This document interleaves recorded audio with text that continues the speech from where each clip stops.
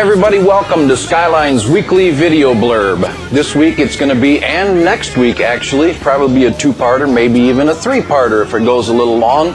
It's going to be on change. Of change in an organization, change in people's lives. Uh, when thinking about the leader's job, one of his responsibilities is to encourage change in the organization and the people of that organization as well.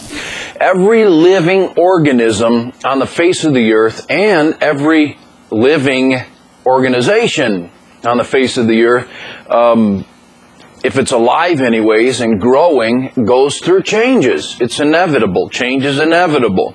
Uh, the leader must learn to, to navigate these changes without losing his people, his employees, if you will, or church attenders, if it's a, a, a preacher, a leadership, pastor.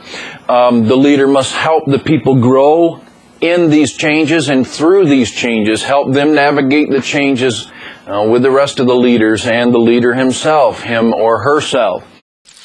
Change is not always embraced, and um, it stretches people, and it it uh, it hurts. It hurts people for the good, usually, not always, but uh, and certainly in our case for our lesson, we're talking about good, positive change.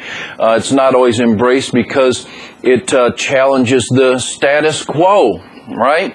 Um, think about this quote with me in one of his uh, books or one of his writings, the English novelist um, Arnold Bennett from the late 1800s.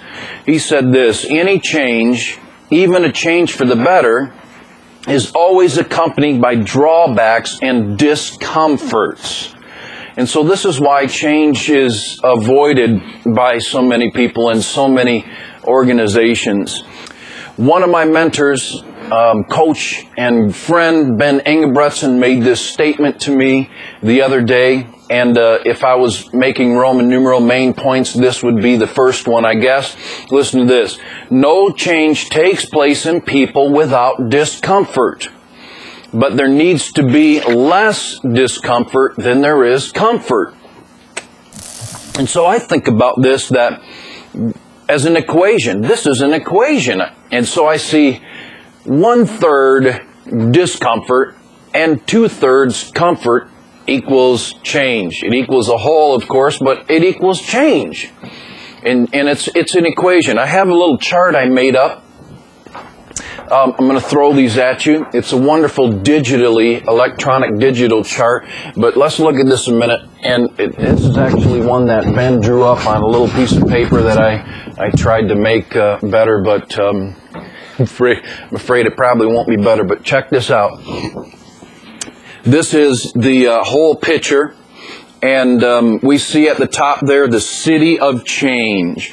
We see at the bottom there three individuals who are going to go into this land of change or head towards the city of change. And then on each side of the path to the doorway of the city of change, we see the land of same and the land of different. There's the land of same and the land of different. Here, look at these guys at the bottom. They're getting ready to take off. Can you see their faces? That's how many people go through this pathway of change. And it's a scary thing for many people. And then they finally get to the top of the city of change. But on either side of that path, we see this. Here's the land of same. Look, look also there, it says AKA, which means also known as the land of familiar or the land of common. And then this is the safe zone, the sure zone, or the secure zone, if you will, the comfort zone. Those aren't always bad. And then on the other side of this path is the land of different, also known as the land of odd or weird or strange. This is the unsure, unsafe, unknown zone.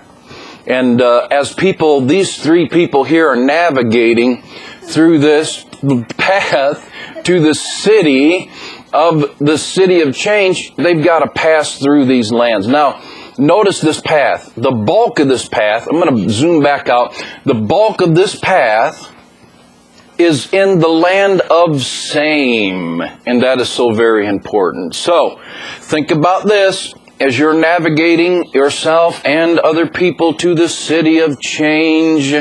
They have to be in the land of same, where there's familiarity, commonness, the safe zone, the secure zone, more than they are in the land of different. Okay, that's enough material for this week's video blurb.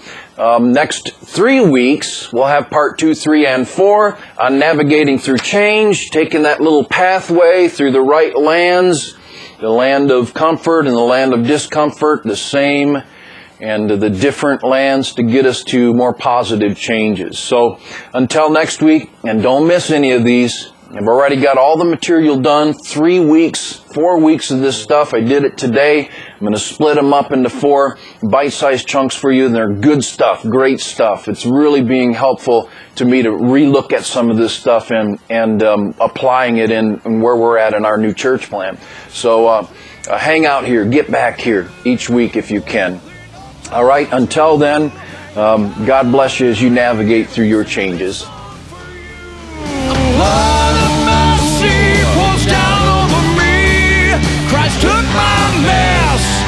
Nelly